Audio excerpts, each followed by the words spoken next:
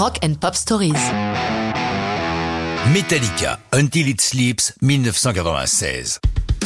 S'il a fallu plus de trois ans de patience aux fans du quatuor californien pour voir enfin paraître Load, leur sixième album studio, c'est qu'entre-temps le succès du précédent, le Black Album, a été suivi d'une énorme tournée. Or, les concerts de Metallica ne sont pas de tout repos, le chanteur et guitariste James Hetfield ayant même manqué de périr brûlé vif à Montréal à cause d'effets pyrotechniques mal maîtrisés.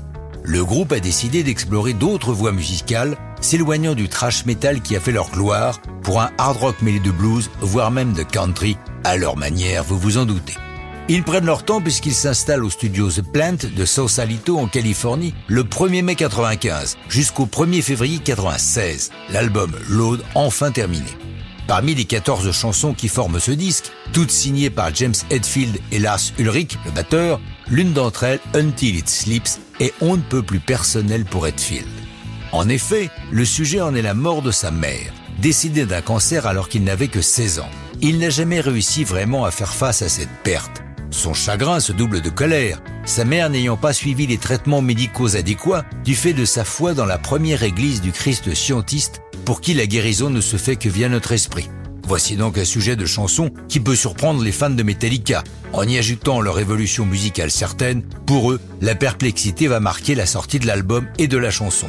D'autant qu'un autre changement va achever de les déconcerter. Les musiciens apparaissent avec des cheveux beaucoup plus courts. Si ça peut sembler un détail, pour le fan de base, c'est une forme de trahison. Mais la décision du groupe paraît sensée. Ils ne peuvent rester toute leur carrière comme lorsqu'ils étaient encore des teenagers.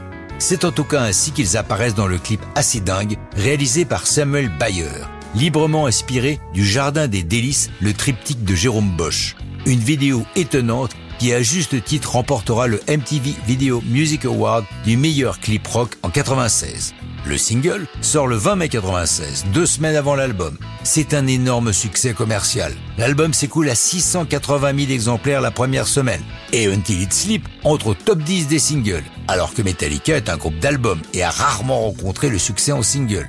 Mieux, beaucoup d'auditeurs de la chanson, confrontés à des situations similaires, diront combien Until It Sleep les a aidés à apaiser leur chagrin. Et ça, c'est une belle fin pour une histoire de rock'n'roll.